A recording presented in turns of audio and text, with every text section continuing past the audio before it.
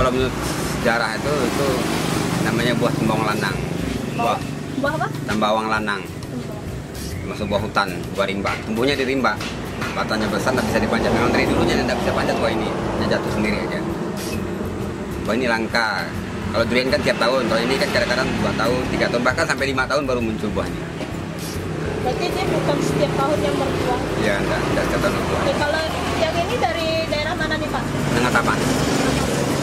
Di mana ya tuh? Tempatnya di mananya Pak? Nah, tempatnya persisnya kurang, kita, kurang tahu kita ya. Kalau di tempatnya kita kurang tahu. Yang Jelas, buah ini dari tengah taman, dari pedalaman, dari apa? Bukit lah istilahnya. Gunungan, hutan lindung.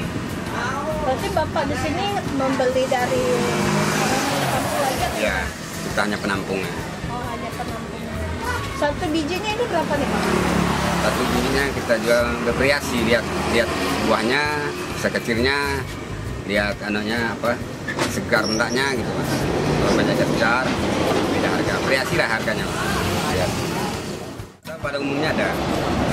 Nah, cuma kan ada daerah-daerah yang udah udah tergusur, jadi ada sisa-sisa daerah yang masih ada nyimpan buah ini.